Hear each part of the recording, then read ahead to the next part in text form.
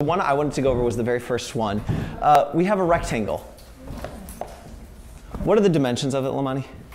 X minus 1 and X plus 3. X minus 1 and x plus 3. What's the other piece of information we're given, Tevin? That is, that the area is 32 inches. Good.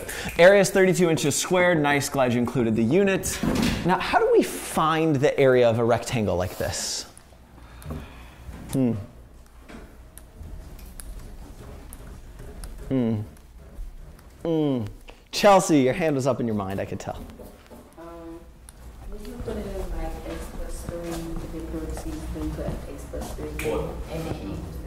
That's exactly right. So, I mean, yeah. yeah, that's exactly right. We'd multiply our length times our width.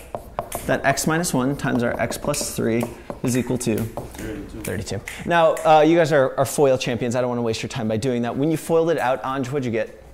But it's x squared plus 3x minus 1x minus 3 30. equals 30.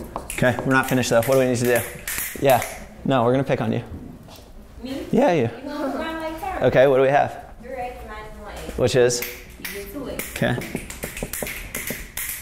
Great. So now I'm going to look for factors of negative 3 that add up. No, no. Yeah. So you're not? You got Factors of C that add up to B. No.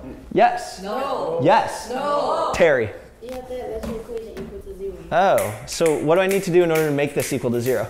Take the 2 for both sides. Okay, so I subtract 32 from both sides of the equal sign. 32 minus 32 is, ah, now we're there. Negative 3 minus 32.